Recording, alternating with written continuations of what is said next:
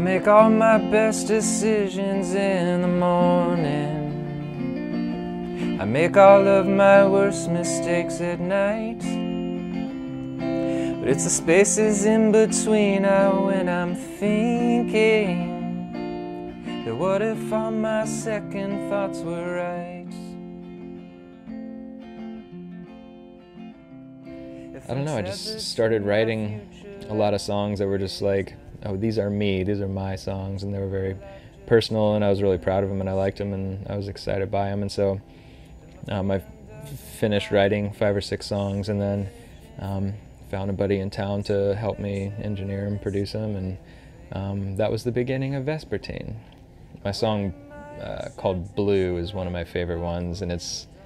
I think it is me very much being true to myself despite what other people might think of it because it is a very like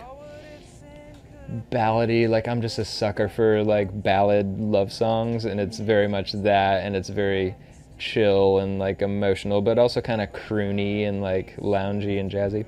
um, which i love and so um, that one i could say took a little bit of a risk. Yeah about two years ago and just having a, a disappointing situation being on a record label, um, but also like there was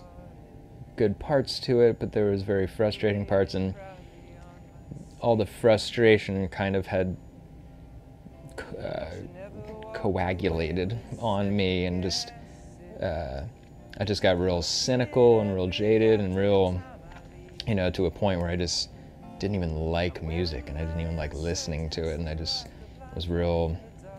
yeah, just real cynical and real burned out. Um, and I think a lot of that is like the business side of music that really kind of got to me because it felt like, again, I was like, I'm trying to be so real and genuine and, uh, you know, being in, in LA where I spent a, a lot of time in 2019, um, just dealing with the business part of it, like it just stripped me of my ambition and my motivation to create anything. Uh, yeah, my tattoo endeavor is very related to my sort of burnout on the music side of things. And so to find something like tattooing, which I had always been into from the same time I got into music, and you know, they've always been very like lots of crossover, obviously and I actually apprenticed to tattoo uh, way back about when I started touring, and kind of always had it on the way way back burner of just like I don't know maybe someday I could try to get into that, and yeah sure enough come quarantine time where I just got bored enough you know last June I was just like oh, I might as well. What else am I I'm not playing shows I'm not writing I'm not doing anything. So yeah I just bought some some very like introductory gear and lots of YouTube videos, and I have another friend that also was like teaching himself, and so we would just kind of trade uh, tips and tricks. It can be like addicting. It can uh, feel